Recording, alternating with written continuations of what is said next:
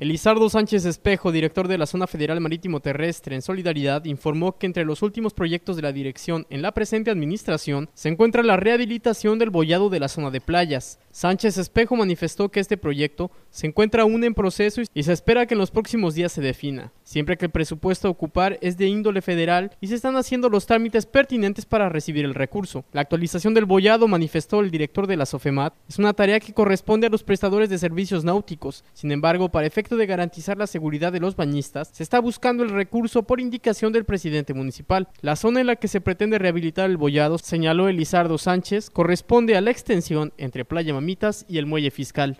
Lo que pasa es de que nosotros, nosotros buscamos eso, pero a final de cuentas es una señalización que los que están obligados a hacerlo son, son los, este, los prestadores de servicios náuticos. Sí, nosotros estamos haciendo este, por una instrucción del presidente para apoyar a Protección Civil.